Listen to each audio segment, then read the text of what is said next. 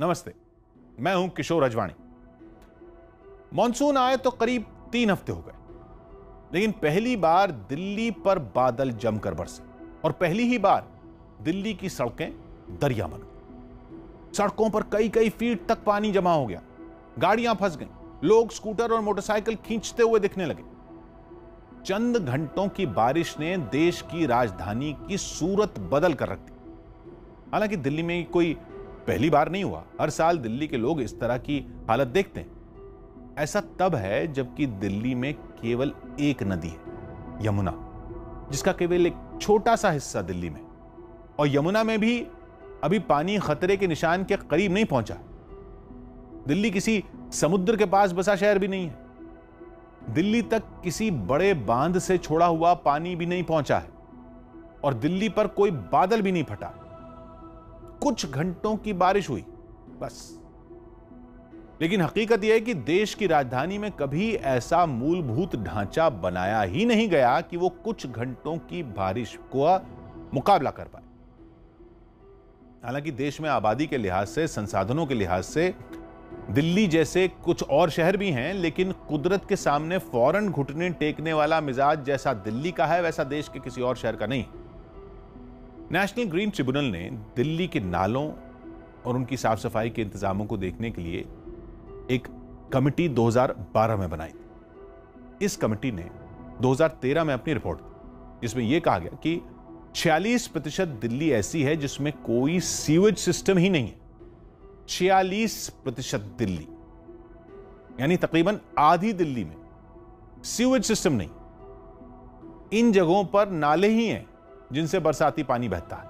ये वही नाले हैं जो आगे जाकर कहीं ना कहीं यमुना में मिल जाते हैं। अब जो सीवेज सिस्टम है या जो नाले हैं, वो दिल्ली के लिए काफ़ी या नहीं, इस पर भी कई रिपोर्ट आई। ज़्यादातर में इस सिस्टम को बढ़ाने की सिफारिश हुई कुछ पर काम शुरू भी हुआ, लेकिन रफ्तार हमेशा बेहद सुस्त रही।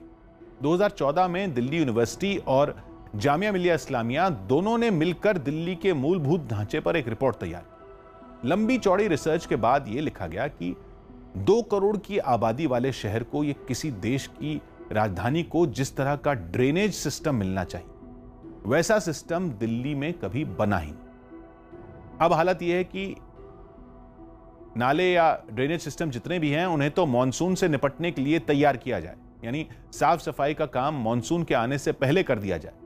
आमतौर पर वो काम भी सही वक्त पर नहीं होता। हर साल दिल्ली की बदहाली की तस्वीरें सारी दुनिया देखती जिनकी बुनियाद पर लोग भारत की छवि बनाते हैं, लेकिन दिल्ली की सूरत नहीं बदलती।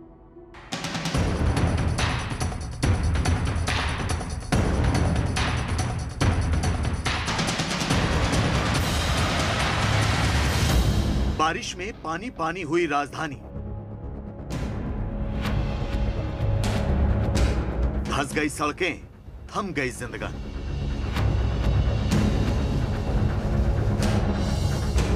मानसून की मार या सिस्टम की नाकामी।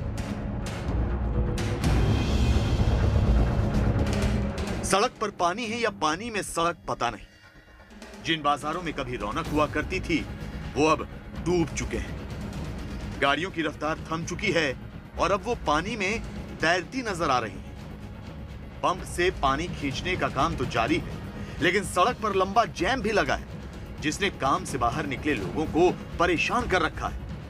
ये तस्वीरें भारत के किसी आम शहर की नहीं, बल्कि राजधानी दिल्ली की है, जहाँ माननीयों के घर है, जहाँ सत्ता का केंद्र है, जहाँ संसद है, जहाँ से देश की सियासत चलती है। ऐसे में सवाल ये कि बारिश के मौसम में हर बार की तरह दिल्ली डूब क्यों जाती है? हर बार की तरह दिल्ली की सड़कें दरिया में तब्दील कैसे हो जाती है? थोड़ी सी बारिश से जल जमाव क्यों हो जाता है? तो जवाब किसी के पास। न सरकारों के पास, न सिस्टम के पास। दिल्ली के नजफगढ़ इलाके की हालत देखिए। ऐसा लग रहा है जैसे यहाँ सैलाब आ गया। ऐसा लग रहा है जैसे ये इलाका कोई टापू बाजारों में घुटनों से ज़्यादा पानी भरा है। दुकानों पर पानी का कब्जा हो चुका है। गाड़ियाँ बारिश के पानी में फंसी हुई है। कोई दरिया बनी सड़क पर पैदल चला जा रहा है। तो किसी की गाड़ी बंद हो गई है और वो उसे खींच कर ले जा रहा है। दिल्ली में मौसम भले ही खुशनुमा हो गया, लेकिन अगर आप इस मौसम का लुत्फ उठाने के लिए बाहर निकलना चाहते हैं तो सावधान हो जाइए, क्योंकि बाहर निकले तो समझो गए पानी। को नजफगढ़ की जो हालत नज़र आ रही है, सारा बाज़ार डूब गया, सारे चारों ओर पानी भरा है जरा सी बारिश होने पर। एलजी साहब से दरख्वास्त करता हूँ कि हमारी सुनवाई करें और हमें इस समस्या से निजात दिलवाएँ। आखिर नजफगढ़ के व्यापारियों का, लोगों का, रहने वाले लोगों का क्या कसूर है? जबकि इतने सालों से ये समस्या है, लगभग तीस सालों से मैं देखता आ रहा हूँ, इस समस्या का आज तक समाधान नहीं हुआ। दिल्ली में बारिश के बाद जल जमाव की समस्या किसी एक जगह नहीं, बल्कि लगभग हर जगह हर जगह पानी ही पानी नज़र आता है। बारिश होते ही हालात बद से बदतर हो जाते हैं। आश्रम चौक की ये तस्वीरें इसकी बानगी है। जरा देखिए कैसे ये गाड़ी पानी से होते हुए निकल रही है? ऐसा लग रहा है जैसे नदी में कोई बोट चल रही हो। बारिश की वजह से आश्रम चौक में चारों तरफ़ पानी भर गया। तो डीटीसी की ये बस भी सड़क पर आए सैलाब में फंस गई। हालाँकि कहीं कहीं पंप से पानी खींचने की कोशिश की गई। लेकिन ये कोशिश किस काम? क्योंकि एक तरफ़ लोगों को राहत देने के लिए सिस्टम ऐसी कोशिशें करता है और दूसरी तरफ़ बारिश के मौसम में सड़क खोदकर वहाँ जल जमाव के हालात खुद पैदा करता है। ऐसे में गाड़ियों की लंबी लाइन नहीं लगेगी तो क्या होगा? सड़क पर ट्रैफ़िक जैम नहीं होगा तो क्या होगा? दिल्ली के अलग अलग हिस्सों में किस तरह बुधवार को हुई बारिश के बाद सड़कों पर पानी भर गया, ये तस्वीरें उसकी तस्दीक करती साकेत से लेकर लाजपत नगर और दिल्ली सचिवालय से लेकर सुप्रीम कोर्ट तक जैसे सैलाब आ गया। थोड़ी सी बारिश में ही दिल्ली का पहिया थम गया। सड़क पानी में समा गई और गाड़ियाँ रेंगने लगी। मैं भी अभी घर से आया हूँ थोड़ी देर पहले। तो ऐसे कहीं ऐसा दिखा नहीं है। हमने चौदह सौ के करीब दिल्ली में पंप लगाए हैं, जहाँ पर भी पानी का भराव होगा, जल्द से जल्द उसको क्लियर कर दीजिए अब आपको दो और तस्वीरें दिखाते हैं।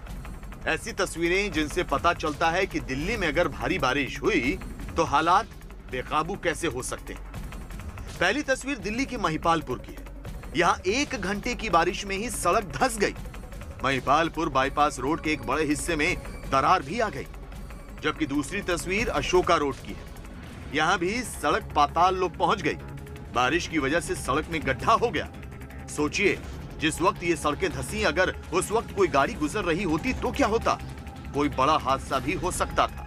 इस वक्त मैं मौजूद हूँ दिल्ली के फ्लाईओवर बाईपास पर और यहाँ पर दिल्ली में थोड़ी सी बारिश के बाद यहाँ पर सड़क टूट गई है। यहाँ पर तस्वीरों में आप देख सकते हैं किस तरीके से ये जो बाईपास सड़क है, ये टूट चुकी है और इस वजह से यहाँ पर लोकल पुलिस मौजूद है। या इस सड़क को पूरी तरीके से बंद कर दिया गया है, यातायात बंद है यहाँ पर और यहाँ तस्वीरों में देखें किस तरीके से दरारें लगातार यहाँ पर बढ़ रही हैं थोड़ी थोड़ी करके। ये दरारें थोड़ी देर पहले कम थी, अब लगातार ये बढ़ती जा रही हैं। मेरा घर यहीं है महिपालपुर में ही है।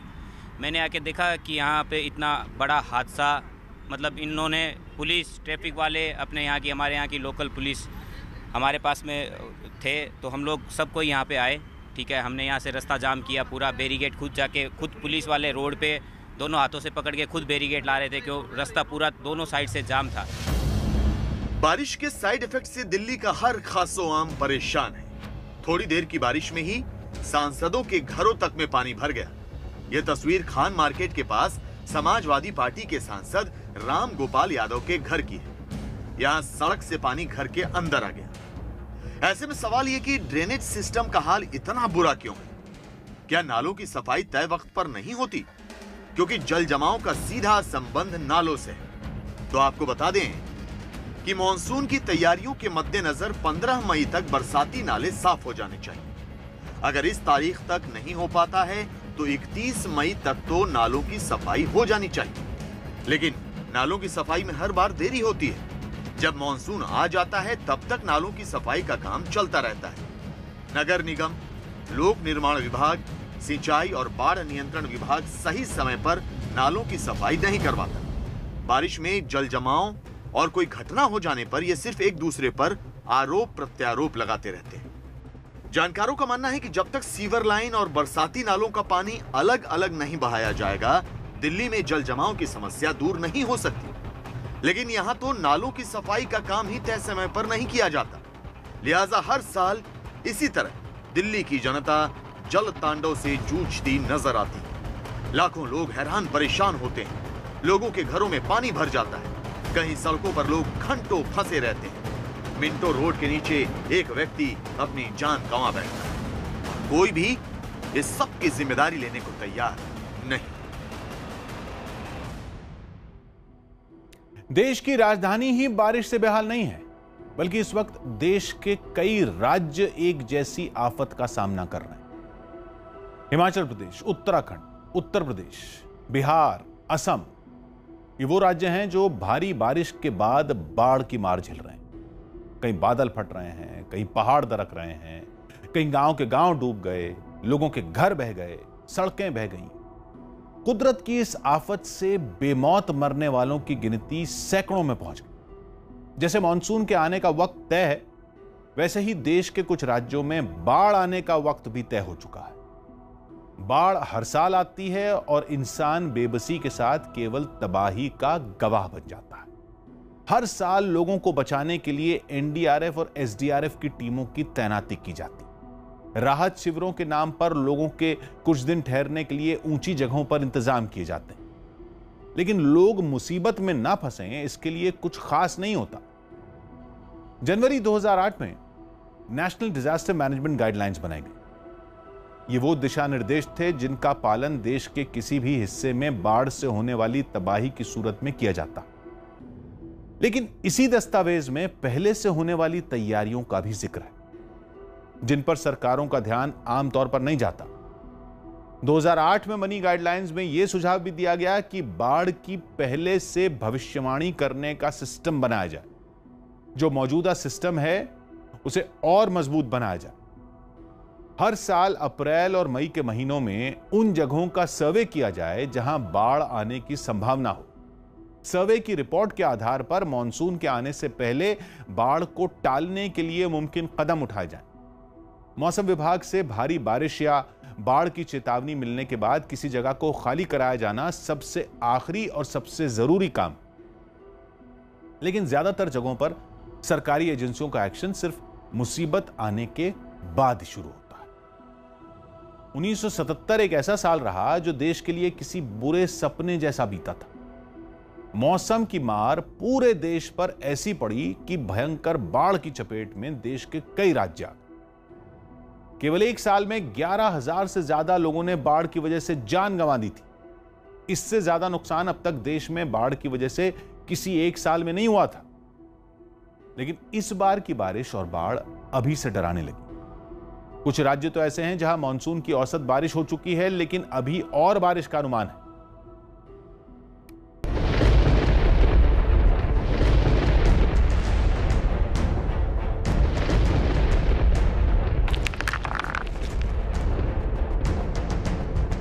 से हालात बिगड़ने लगे हैं। तस्वीरों में भी आप साफ़ तौर पर देख सकते हैं, चारों तरफ़ पानी ही पानी है।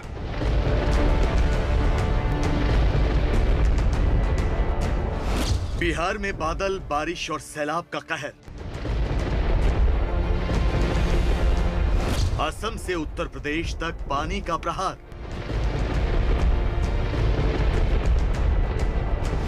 पहाड़ों पर बारिश से टूटती चट्टानों का खौफ। आधे हिंदुस्तान में इस वक्त सैलाब से त्राहिमाम मचा है। बिहार में नदियाँ उफान मार रही हैं।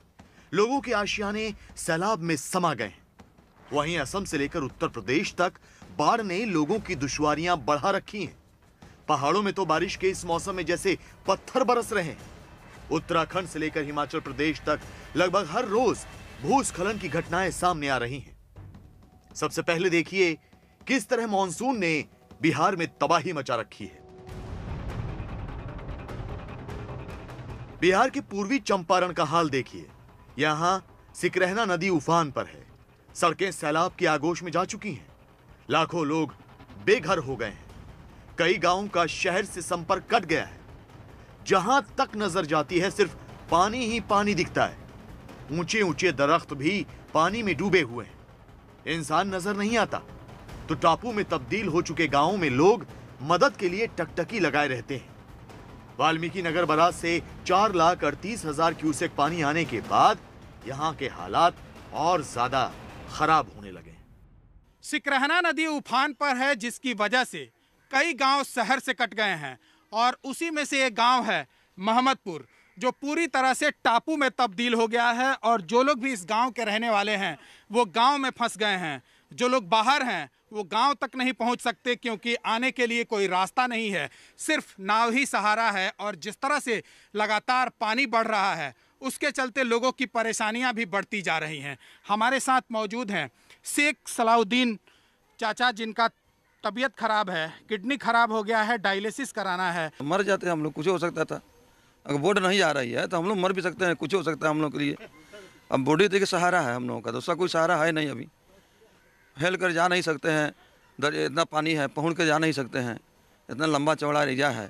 तो एक नामे तो आप लोगों का सहारा है हमको। ना अगर नहीं मिलता तो हम लोग मर जाते इसमें लग करके। एक सप्ताह से हम लोग इलाज नहीं करा सके। घर में पड़े हुए हैं, कोई जाने आने का रास्ता नहीं है। बाढ़ की वजह से बिहार के मुजफ्फरपुर ज़िले में भी भारी तबाही मची है। यहाँ गाँव के गाँव जल समाधि ले चुके हैं। लोगों के घर बार उजड़ चुके हैं। भूख और प्यास से जूझते लोग नाव के ज़रिए सुरक्षित जगहों की ओर जा रहे हैं। कुछ लोग तो हाईवे पर टेंट लगाकर ज़िंदगी गुजार रहे हैं। इन लोगों का आरोप है कि सरकार की ओर से कोई व्यवस्था नहीं की गई। ये भगवान भरोसे हैं और सैलाब से लड़ रहे हैं। धुपाए धुपाए बाल बच्चा लेके कैसे रहेंगे? पन्नी है पन्नी दिया है वो तो ये फाटल चिटा पन्नी में कैसे रह सकते हैं? चल रहा है जो ये भगवान के ऊपर। जैसे आधार देवे भगवान। सरकार के तरफ़ से कुछ? कुछ तो सामग्री? हमें तो कुछ नहीं है। बिहार में सात नदियाँ उफान पर हैं और उससे सटे इलाके पूरी तरह जलमग्न होने की कगार पर हैं। आपको दिखाते हैं कि फ़िलहाल बिहार में कहां-कहां नदियों का जलस्तर तेज़ी से बढ़ रहा है। बक्सर और पटना में गंगा नदी का जलस्तर तेज़ी से बढ़ रहा है। पटना में पुनपुन नदी का जलस्तर भी तेज़ी से बढ़ रहा है। सीतामढ़ी और मुजफ्फरपुर में बागमती नदी खतरे के निशान से ऊपर बह रही है। सीतामढ़ी में अधवारा नदी भी खतरे के निशान को छूने वाली है। समस्तीपुर और मुजफ्फरपुर में बूढ़ी गंडक का जलस्तर तेज़ी से बढ़ रहा है। तो वहीं सिवान में घाघरा नदी का जलस्तर तेज़ी से बढ़ रहा है। बिहार में बाढ़ की विनाश लीला शुरू हो चुकी है। आठ जिलों में चार लाख से ज़्यादा की आबादी सैलाब से कराह रही है। राज्य की सात नदियाँ खतरे के निशान से ऊपर बह रही हैं। तो बिहार और नेपाल में लगातार हो रही बारिश से हालात बिगड़ते चले जा रहे हैं। बिहार से दूर असम कोरोना वायरस के साथ साथ बाढ़ और बारिश की त्रासदी भी झेल रहा है। राज्य में सौ से ज़्यादा लोग बाढ़ की भेंट चढ़ चुके हैं। आधे से ज़्यादा असम बाढ़ प्रभावित है। असम की ब्रह्मपुत्र नदी मौत का तांडव कर रही है। काजीरंगा पार्क में हाथी और दूसरे जानवर भी बाढ़ से अपनी जान बचाने की जद्दोजहद करते नज़र आ रहे हैं। असम में स्थिति इतनी भयावह है कि यहाँ 70 लाख से अधिक लोग सैलाब से बुरी तरह प्रभावित हैं। अलर्ट है कि असम में अभी और तेज बारिश होगी। मैदानी इलाकों के साथ साथ पहाड़ों में भी बारिश ने कोहराम मचा रखा है।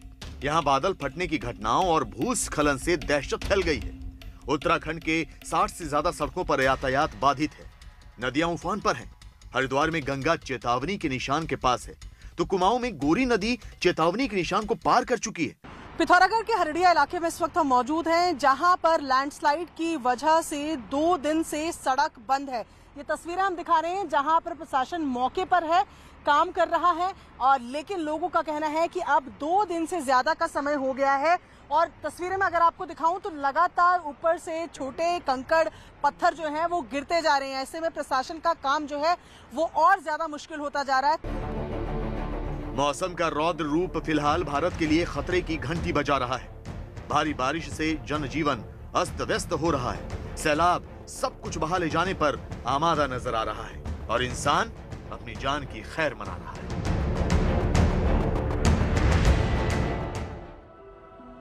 चीन में लोगों के पास लोकतांत्रिक अधिकार तो है नहीं। अब चीन की सरकार लोगों से उनकी धार्मिक आज़ादी छीनने का अभियान तेज कर चुकी है। पहले तो केवल वीगर मुसलमानों पर ही चीन के जुल्म की बात सुनने में आती लेकिन अब ईसाइयों पर हो रहे जुल्म की तस्वीरें भी सारी दुनिया के सामने पहुँच रही चीन में ईसाइयों पर हो रहे जुल्म की हद यह है कि गिरजाघरों को सरकारी एजेंसियाँ चुन चुन कर ढहा रही हैं। हालाँकि चीन में धार्मिक आज़ादी कभी रही ही नहीं। चीन का यानी पीपल्स रिपब्लिक ऑफ़ चाइना का संविधान धार्मिक आज़ादी की बात ज़रूर करता है। चीन के संविधान का आर्टिकल 36 कहता है कि वहाँ रहने वाले हर नागरिक को किसी भी धर्म को मानने का पूरा अधिकार। यही आर्टिकल यह भी कहता है कि कोई सरकारी मशीनरी, सामाजिक संगठन या व्यक्ति किसी भी नागरिक को कोई धर्म मानने या कोई धर्म न मानने पर मजबूर नहीं कर सकता। वैसे भी चीन अपने आप को दुनिया की सबसे पुरानी सभ्यता मानता है। चीन के इतिहास में, ईसा पूर्व के दौर में भी कई पंथों से जुड़े लोगों के एक साथ मिलकर आज़ादी से रहने के कई उदाहरण। लेकिन आज की हकीकत इससे बिल्कुल अलग है। चीन की कम्युनिस्ट सरकार लगभग वही कर रही है जो चीन में सैकड़ों साल तक होता रहा है। 1644 से 1912 तक चीन में किंग राजवंश का राज चलता था। उस वक्त कंफ्यूजनिज्म कंफ्यूशवाद से जुड़े लोग सबसे बड़ी तादाद में थे, जो कंफ्यूशस को फॉलो करते थे। लोकतंत्र की कोई जगह नहीं और राज चलाने वालों को अलग अलग मजहबों से सख्त नफरत थी। उन्हें हमेशा एक डर रहता था कि धार्मिक मान्यताओं की वजह से कहीं राजघराने के खिलाफ बगावत न पनपने। इसलिए उस वक्त चीन में एक खास मंत्रालय बनाया गया, जिसे मिनिस्ट्री ऑफ़ राइट्स कहा जाता था। कहने को तो इसका काम यह था कि धार्मिक मामलों पर नज़र रखी जाए। Rights R I T E S और लोगों की मदद की जाए। लेकिन हकीकत में यह मंत्रालय बौद्ध, मुसलमानों और ईसाइयों को कुचलने का काम करता था। कानून था कि अगर किसी ने मंदिर, मस्जिद या गिरजाघर के बाहर धर्म से जुड़ी कोई बात की, अपने अनुयायियों से कोई धार्मिक अपील कर दी या खुले में कोई धार्मिक कार्यक्रम कर दिया तो वो जुर्म माना जाएगा। इतना ही नहीं, इसे 80 कोड़ों की सजा देने का नियम बनाया गया। बौद्ध धर्म का प्रचार करने वाले, इस्लाम का प्रचार करने वाले या ईसाई धर्म का प्रचार करने वाले कई लोग और कई संगठन उस वक्त भी चीन में काम करते थे।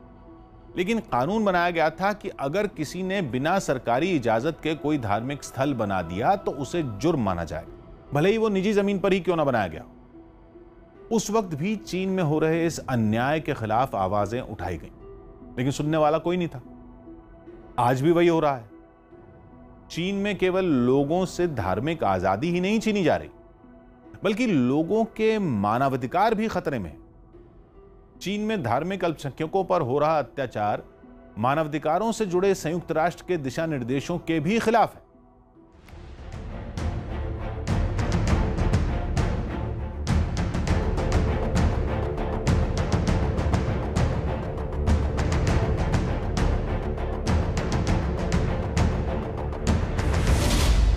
बीसवीं सदी में हिटलर ने किया था नरसंहार।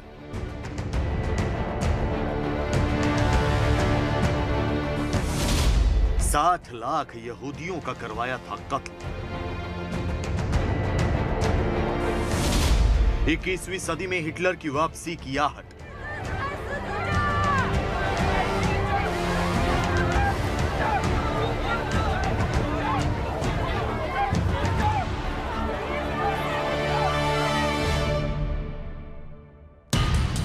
सोशल मीडिया प्लेटफॉर्म ट्विटर पर इन दिनों एक शब्द बेहद चर्चा में है। शब्द है शिटलर इस शब्द का मतलब समझना ज़्यादा मुश्किल नहीं है।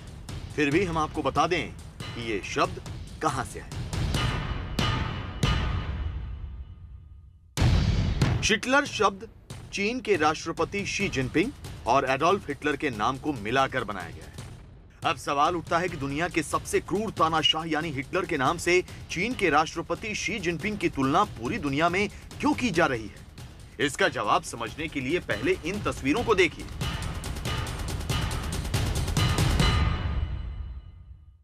चीन से अब तक वीगर मुसलमानों और तिब्बत के लोगों पर जुल्म सितम की खबरें सामने आती रही हैं। दुनिया की तमाम कोशिशों के बावजूद वीगर मुसलमानों पर जुल्म को तो नहीं रोका जा सका बल्कि अब चीन सरकार ने एक नए समुदाय पर जुल्म सितम शुरू कर दिया है।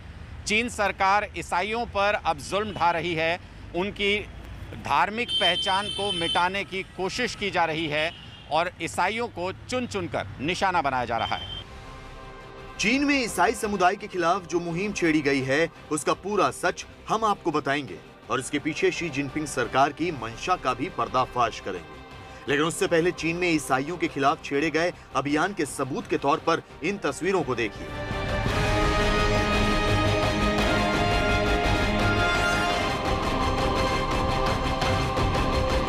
ये तस्वीरें चीन के शेजियांग प्रांत के यांगजिया नाम के शहर की हैं, जहाँ चीन सरकार के फरमान के बाद स्थानीय प्रशासन ने आवडी नाम के एक चर्च पर चढ़कर उसका क्रॉस तोड़ दिया।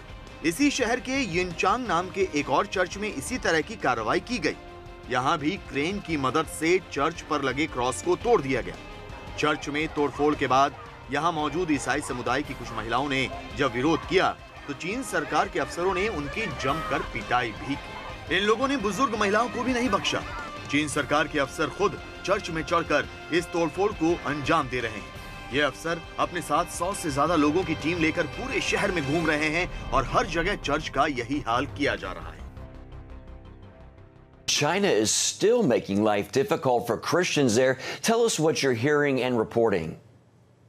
Yeah, I mean, you would think that in the midst of this, where they were sort of the epicenter and the and the beginning of this coronavirus, you would think that maybe they would uh, be focused on that and and kind of slow down some of the systematic government persecution we've seen over the last couple of years uh, in regards to Christian churches and other religious uh, minorities. चीन की इस काली करतूत की तस्वीरों के सामने आने के बाद पूरी दुनिया में गुस्सा भड़क गया है क्योंकि चीन में किसी एक शहर या प्रांत में चर्च में तोड़फोड़ नहीं हुई है बल्कि ऐसी ही हरकत चीन में कई शहरों में अंजाम दी जा रही है। ये तस्वीर हेनान प्रांत के पिंगडिंग शोंग की है। यहाँ भी चीन सरकार के फरमान के मुताबिक चर्च में लगा क्रॉस हटा दिया गया। इसके अलावा चीन के अनहुई, जियांगशु, हुबेई, शेजियांग और शांशी में भी चर्च में इसी तरह से तोड़फोड़ की जा रही है और चर्च पर लगे क्रॉस हटाए जा रहे हैं। चीन में बीगर मुसलमानों के बाद अब ईसाई समुदाय पर चीन सरकार से जिस तरह ने हमला शुरू किया है, उसके खिलाफ पूरी दुनिया में आवाज़ उठ रही है। चीन सरकार से इस तरह से अल्पसंख्यकों पर अत्याचार न करने की अपील की जा रही है। लेकिन चीन पर इसका असर होना मुश्किल ही नहीं बल्कि नामुमकिन है। कम्युनिस्ट पार्टी का चाइना का मानना है कि चर्च लोगों को बहका सकती है कम्युनिज्म के खिलाफ। इसलिए चीन के अंदर क्रिश्चियंस को टारगेट किया जा रहा है। चीन सरकार ने ईसाई मज़हब के लोगों को प्रताड़ित करने के लिए सिर्फ़ चर्च में ही तोड़फोड़ नहीं की है बल्कि शी जिनपिंग ने तो ऐसा फरमान जारी किया है, जिससे ऐसा लगता है कि अब शी जिनपिंग खुद को शायद चीन का खुदा समझने लगे या फिर वो खुदा बनना चाहते हैं। शी जिनपिंग की सरकार ने देश के ईसाई समुदाय के लिए नया फरमान जारी किया है। इसके मुताबिक घरों में जीसस क्राइस्ट यानी ईसा मसीह की फ़ोटो लगाने पर पाबंदी लगा दी गई है। नए फरमान के मुताबिक ईसाई लोग घर में क्रॉस भी नहीं रख सकते इतना ही नहीं, ईसाई लोगों को किसी भी तरह की धार्मिक प्रतीक रखने पर पाबंदी लगा दी गई। है साथ ही ये आदेश भी जारी किया गया है कि वो घर में माओ से तुंग और शी जिनपिंग की फ़ोटो दीवार पर लगाएँ और सरकार के इस आदेश को न मानने पर लोगों को जेल में डाला जा रहा है। शी जिनपिंग के इस फरमान से साफ़ है कि वो अब खुद को चीन का सबसे बड़ा नेता ही साबित करने पर नहीं लगे हैं, बल्कि शी अब खुद को चीन का भाग्य विधाता घोषित करना चाहते हैं। यही वजह है कि अब घरों में शी की फ़ोटो लगाना अनिवार्य किया जा रहा है।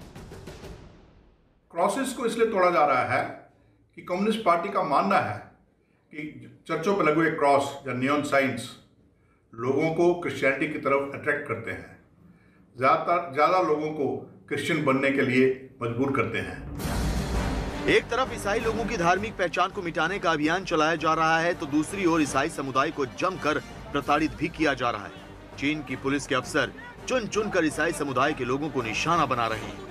सरेआम सड़कों पर उनके साथ मारपीट की जा रही है और उन्हें झूठे मुकदमों में फंसाकर जेल भेजा जा रहा है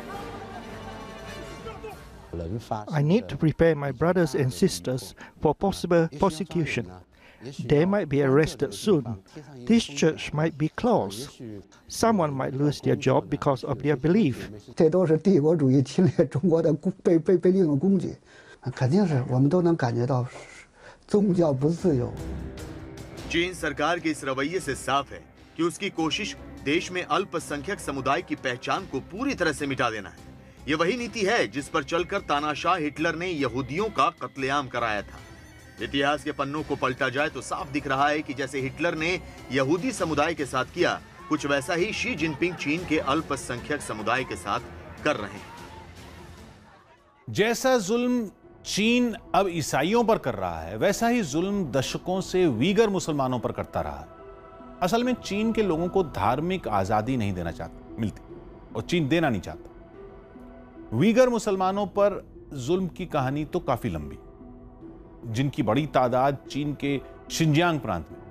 ये वो प्रांत है जो कभी अपने आप को एक आज़ाद मुल्क मानता था। लेकिन उन्नीस सौ उनचास में चीन में कम्युनिस्ट शासन आते ही वक्त ने करवट ली और शिंजियांग पर चीन ने कब्जा कर लिया। ज़मीन के टुकड़ों के लालची चीन ने शिंजियांग को तो अपना बना लिया, लेकिन शिंजियांग में बसे वीगर मुसलमानों को कभी नहीं अपनाया।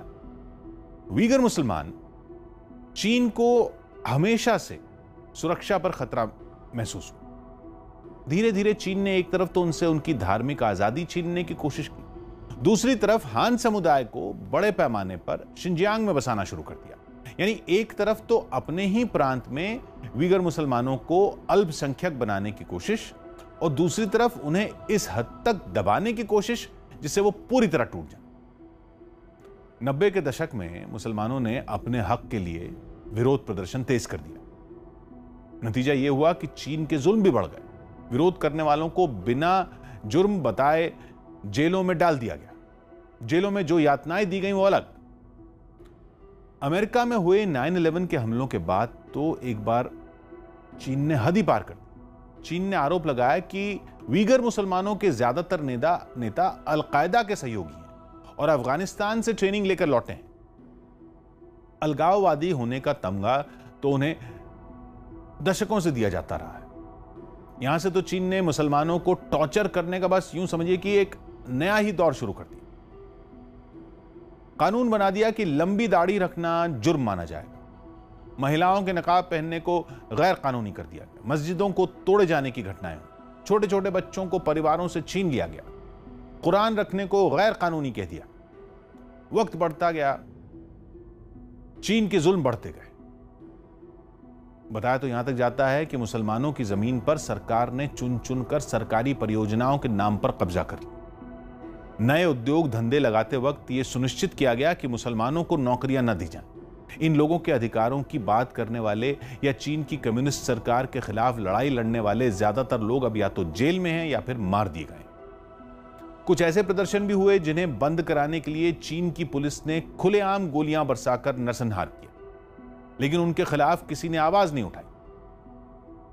चीन आज भी उसी रास्ते पर बढ़ रहा है।